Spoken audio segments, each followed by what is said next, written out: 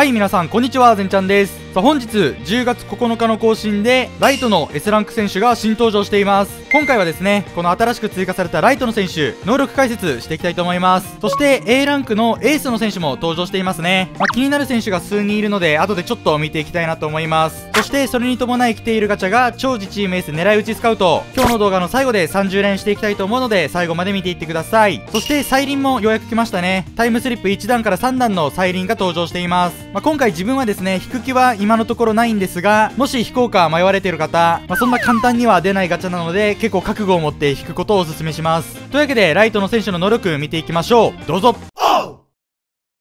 まずは西武木村選手。弾道が中弾道。ミートが59パワーが68走力が77完全走力型の選手ですね。シリーズ1から比べてミートがプラス3パワーがプラス1上がっています。守備能力センター適性が49の E 他が D 特殊すれば D に乗っけることができます。ただちょっと裏捨てやっぱり気になりますね。補給が F スローイングが F まあ、肩は十分 A あるとして補給 F っていうのはねいくら外野でもたまにただのフライポロッとしちゃうこともあるんでかなり怖い部分にはなってきます。特納超流し打ち20丸走塁回バント。特納自体は変わっていません。まあ未だにですねこのバント丸の強さを分かってないんですがまあ流し打ちと走塁は結構強い特納かなと思います。続いてソフトバンクは栗原選手。さあ通常の S ランクは初めての登場ですね。A ランク追加の時はファーストでしたがライトの追加になりました。弾道が中弾道。ミートが60パワーが74走力が66完全パワー型ですね。守備能力はレフトライトが D ファーストが C のキャッチャーが D、まあ、本職はですねキャッチャーの選手ななのでキャッチャー適性もあります、まあ、若干裏捨ては怖い部分はありますがキャッチャーとしてもギリ使える能力だと思います。特納超チャンス20丸広角打法回満塁男。特納いいですね。まあ、控えのキャッチャー兼代打枠としてベンチに置いとくのすごくありだと思います。続いてブラッシュ選手。いやーいい写真ですね。なんかこうブラッシュ選手感が溢れてる。能力は弾道がパワーヒッター。ミートが69パワーが82走力が67ここはシリーズ1から変わっていません。守備能力も変わってないですね。レフトが D ライトが C 裏捨てオール E まあ、ここもですね裏捨て若干気になる部分にはなりますが適性は C あるのでギリ守らせても大丈夫かな。と思います。特納超パワー非チャンス回選球眼特納十分です。ブラッシュ選手意外と打ちやすいんで結構おすすめです。続いてロッテマーティン選手。弾道がパワーヒッター。ミートが62パワーが81走力が71シリーズ1から比べるとミートがプラス4パワーがプラス2されています、まあ、元からパワー A 乗ったのは使いやすいですね。守備能力レフトセンターが D ライトが C 裏捨て FBS、まあ、やっぱり補給だけはちょっと気になりますね。いくら肩が強くてもポロッとされちゃうと意味がないんで、まあ、ただですねマーティン選手といえば強肩、まあ、肩 S はかなり魅力的なんでそこは面白いかなと思います。特納超パワー非プル控えレーザービーム。ここはシリーズ1から変わっていません。ちゃんとレーザービームを持っています。続いて2チャムは太田選手。弾道がパワーヒッター。ミートが76パワーが77走力が76称号でミートパワーまたは全動値が狙えますしパワー A というのも狙えます。して守備能力はもう圧巻ですね。レフトセンターが C ライトが A 裏捨て BCA もう守備能力完璧だと思います。太田選手ですね攻守にわたりかなり使いやすい現役選手になってくるんで現役ライトの中ではかなりおすすめの選手になってきます。特納は超パワー非固め打ち回チャンス。ここ変わってませんね、まあ、チャンスと固め打ちの共存は難しいんで、まあ、本当にちょっとですがここだけはネックです。続いてオリックスは吉田選手。弾道がアーティスト。ミートが83パワーが80走力が67ミートがプラスに上がっています、まあ、若干ですねミパの同値は狙いづらくはなってるんですが、まあ、まだですね称号でミパ同値が狙える範囲なんで、まあ、普通に強化されたのかなと思います。守備適性はシリーズ1からあんまり変わっていなくて守備適性は CED 裏捨てが DD DDC 肩がマイナス3されているんで肩 B は狙えなくなってます。まあそうですね。今回はライトで登場しているんですがやっぱりレフトで守らせたい選手なんでレフトで使うことをお勧めします。特納は超アーティスト固め打ち回タイエース変わっていません。早く広角打法をつけてほしいです。次に巨人はパーラ選手。弾道が中弾道。ミートパワーが72の同値。走力が69ここはですねシリーズ1から比べてパワーがプラス2されているのでデフォルトで同値になっています。守備能力レフトから6659 966ファーストもできますね。特殊でセンター C 乗せることができますしさすがの裏捨てオール B 守備能力は問題ないと思います。特納超固め打ち20丸流し打ち回人気特納大きく変わっています。前回は超チャンス満塁男人気でしたがチャンスと満塁男が丸々固め打ちと流し打ちに変わっています。続いて DNA はオースティン選手。弾道がパワーヒッター。ミートが70パワーが78走力が68能力爆上がりしてます。ミートがプラス8パワーがプラス2走力がプラス4、まあ、今回一番強化されてますね。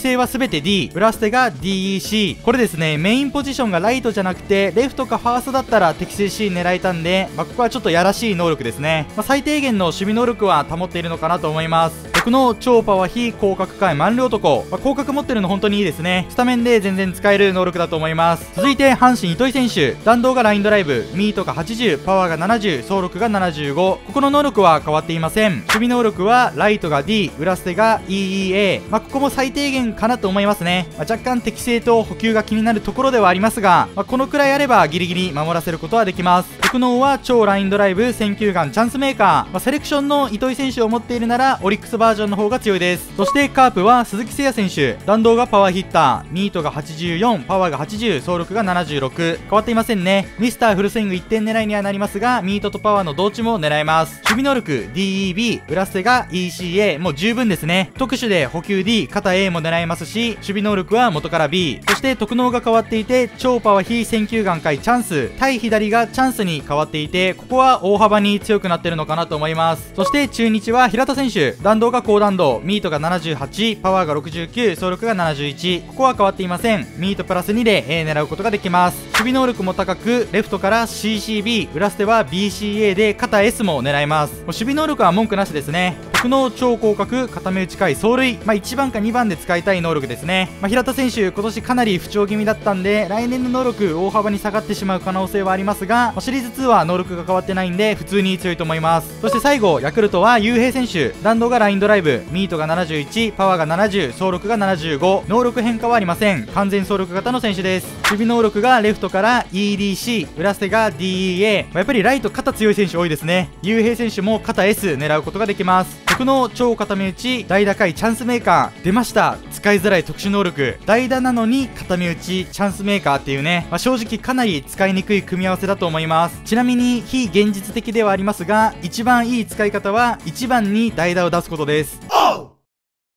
というわけでですね、ガチャを引いていく前に気になるエースの選手見ていきたいと思います。まあ、今回気になる選手をピックアップしてるんで、全選手は見れません。まず1人目、則本選手。まあ、第1球種はですね、そのままなんですが、第2球種、カットボールが追加されてます。このカットボールはですね、結構でかい追加ですね。シリーズ2 S ランク当てることができたら試してみたいです。次に、菅野選手。菅野選手はシュートが新しく追加されてます。これも気になりますね。しかも高速シュートじゃないのに150キロ出ます。まあ、これがですね、リアタイでどれだけ生きてくるかは分かりませんが、まあ、面白い球種追加かなと思いますそして今永選手第1球種は変わってませんがなんとカットボールとスプリットチェンジというよくわからない球種が追加されてますこれちょっとどんな変化かわからないですね新しい球種です、まあ、普通にスラカットもできますしスプリットチェンジという謎の球種もある。当たったら使ってみたいと思います、まあ、そして最後大瀬良選手かな。大瀬良選手も菅野選手と同様シュートが追加されてます。そして残念ながらツーシームはついていません。まあ、多分ねツーシームをシュート判定されたと思うんですが、まあ、シュートじゃなくてツーシームだったらねリアタイでもかなり強かったですね、まあ、大瀬良選手実際に現実でツーシーム投げてるんで、まあ、ここがちょっと球団による能力査定の格差が出てるのかなと正直思います。